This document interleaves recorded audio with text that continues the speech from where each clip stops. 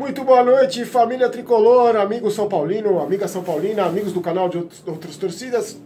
Desculpa, a gripe ainda não foi embora. Aliás, queria agradecer muito aos votos de melhoras que vocês me deram aí nos comentários do, do vídeo contra o Vasco, que eu tava realmente só o pó da rabiola.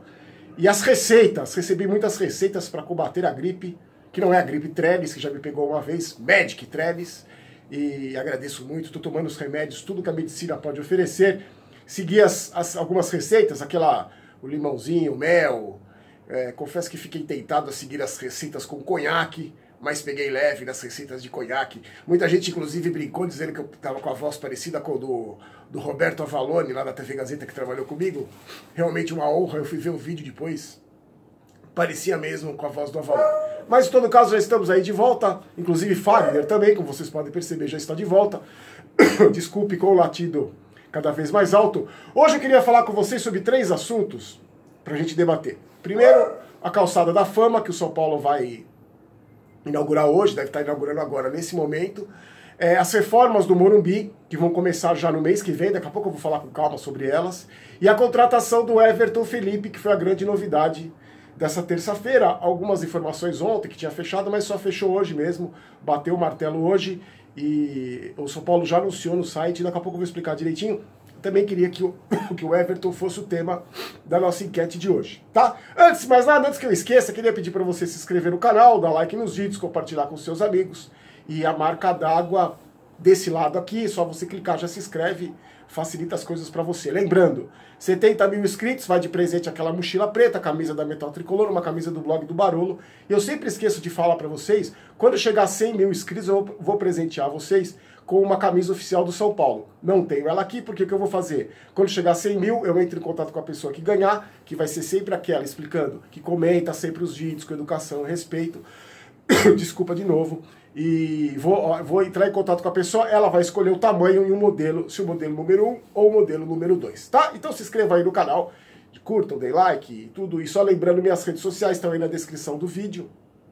E minha, o meu Facebook, minha página pessoal já lotou, recebo muitas solicitações de amizade, não posso aceitá-las, mas tem o blog do Barulho Vídeos, tá? Chega de enrolação, vamos falar do São Paulo. É, como eu falei para vocês hoje, a um custo de 100 mil reais para o clube, será inaugurada a partir das 7 mil, 8 horas da noite, a Calçada da Fama do São Paulo. Vai ser ali na entrada do, do Memorial do São Paulo, para quem conhece o Murumbi, para quem não conhece, é, uma, é um, um portão 17, fica ali no portão 17, se não me engano, 17, 18 e vai ser inaugurada é, é, homenagem para cerca de 99, 100, quase 100 jogadores, mais de 50 já tinham confirmado presença. Eu acho bacana, num país tão sem memória como o nosso, a gente homenagear nossos ídolos, os ídolos do São Paulo. São Paulo, desculpa de novo, São Paulo tem uma tradição de sempre preservar seus ídolos, eu acho que vai ser bem legal. Eu recebi, recebi até o credenciamento para ir, mas nesse estado lastimável que eu estou, não vai dar para comparecer, até porque é, amanhã vocês assistem na, nas mídias, com, com, certeza as emissoras vão cobrir, vocês vão ver nos jornais, nos sites, e vai ser bem legal. Gostaria de ter, se eu tivesse melhores condições de saúde, iria, mas não vai dar. Reformas do Morumbi. Muita gente me pergunta, eu já falei aqui em outros vídeos.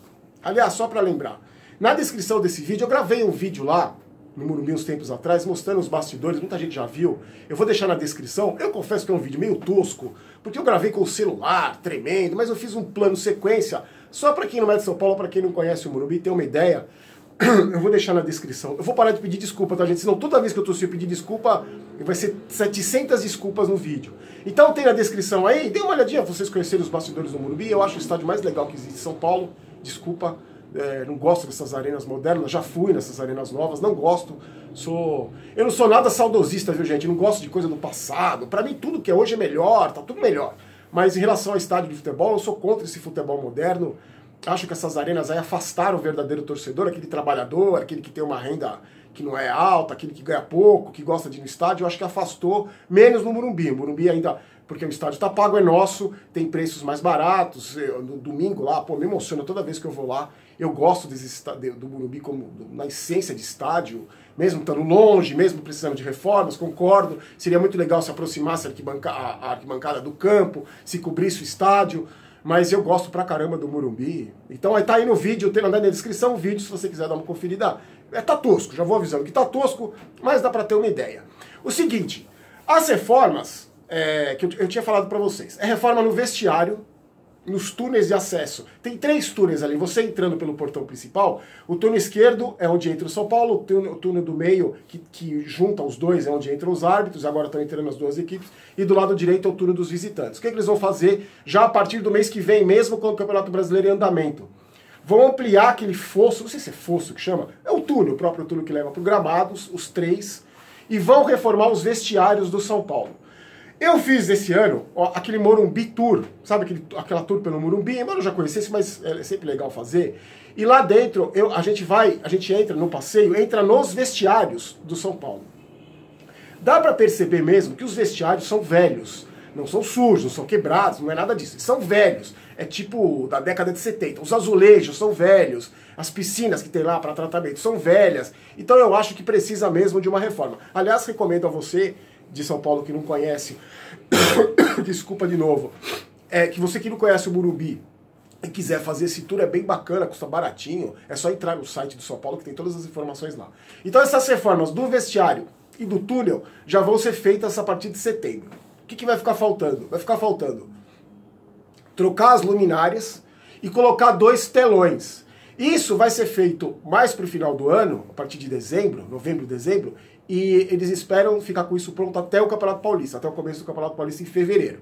Então a troca de lâmpadas e a instalação de dois telões, apoiados pela Samsung. A empresa do São Paulo não vai ter custos com essas reformas. Então basicamente é isso, são essas as reformas do Murumbi. Para quem esperava é, a cobertura, a aproximação, isso aí eu duvido, duvido que aconteça. Mesmo porque é um processo muito caro, dá muito trabalho.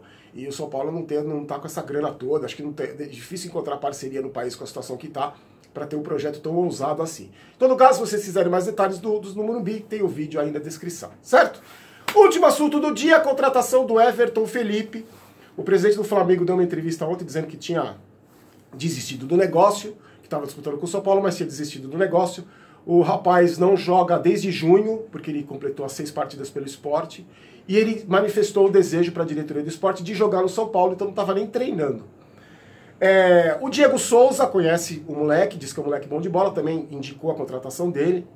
E é o seguinte: os números não são oficiais, eles que o São Paulo não divulgou, pelo menos até agora que eu estava olhando, não divulgou 3 milhões pelo empréstimo dele até o final de 2019. Depois disso, mais 3 milhões para ter 40% dos direitos federativos dele.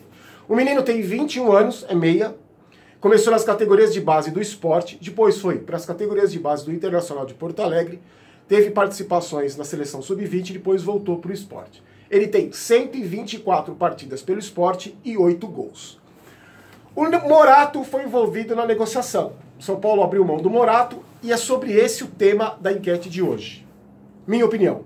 Eu gostaria de ver o Morato mais vezes. Eu gostaria que o Morato tivesse sido aproveitado mais vezes. Vou lembrar para quem não lembra, para quem não sabe, o Morato foi contratado no ano passado, estreou muito bem na eliminação do São Paulo contra o Cruzeiro na Copa do Brasil. Depois, num jogo treino lá em Cotia, se não me engano, contra o Oeste, ele teve um rompimento no ligamento do joelho, estourou o joelho completamente, ficou quase um ano parado.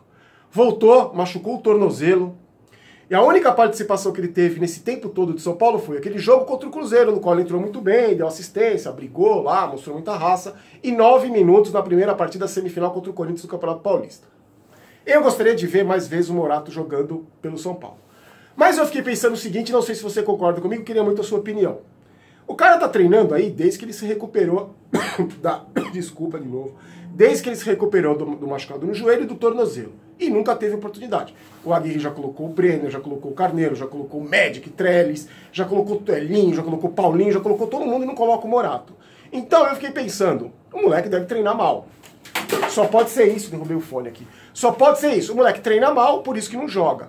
Então, mas mesmo assim, eu ainda fico, como essa contratação para mim, eu não conheço o rapaz, é, já disse no outro vídeo que eu não conheço. Aliás, gostaria de pedir para os torcedores do São Paulo aí de Recife, que conhecem, que acompanham mais de perto, que falassem, deixassem nos comentários aí o que vocês acham dele, se é uma boa contratação, além, claro, da opinião de todo mundo, quero saber a opinião de vocês. Vocês acham uma boa contratação? Vocês acham que vai valer a pena? Vocês acham que valeu a pena incluir o Morato nessa negociação? Eu ainda tenho minhas dúvidas, mas em todo caso, é, só vou confirmar. Seja muito bem-vindo, Everton Felipe, que você brilhe com a camisa do São Paulo. O fato de a gente não conhecer o seu futebol, eu particularmente não conhecer o seu futebol, e não me empolgar muito com a sua contratação, não quer dizer absolutamente nada. Eu só acho que ele não vem para ser titular. É outra pergunta que eu faço para vocês: se ele teria espaço no time titular. Eu acredito que nesse time do Aguirre ele não tem, mas em todo caso, espero que brilhe. Espero que seja mais uma contratação aí da diretoria, que já trouxe bons nomes, a gente tem que admitir, que brilhe muito com a camisa do tricolor paulista.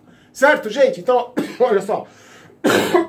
Mil perdões. Queria agradecer ao Alex Prado da Voz Tricolor, que mandou essa canequinha aqui, que já está sendo muito bem utilizada com chá, limão e tudo de, de para garganta e para gripe. Vai ser muito usada hoje ainda essa canequinha. Obrigado, Alex, pelo presente. Então é isso aí, gente. Eu volto amanhã se tiver novidades.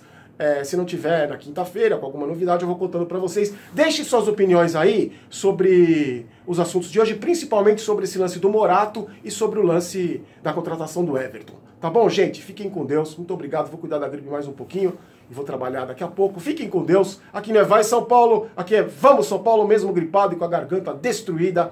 Forte abraço, fiquem com Deus, a gente se vê. Tchau, tchau.